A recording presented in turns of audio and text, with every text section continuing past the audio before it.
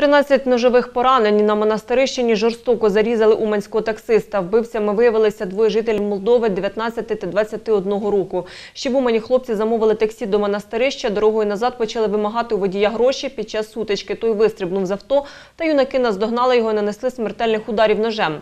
Опісля вже на Христинівщині чоловіки не впоралися з керуванням і влетіли в електроопору.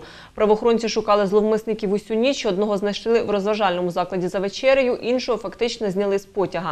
Нині їм оголошено про підозру одразу за трьома статтями: розбій, незаконне заволодіння транспортним засобом та умисне вбивство. За скоєне їм загрожує довічне позбавлення волі з конфіскацією майна.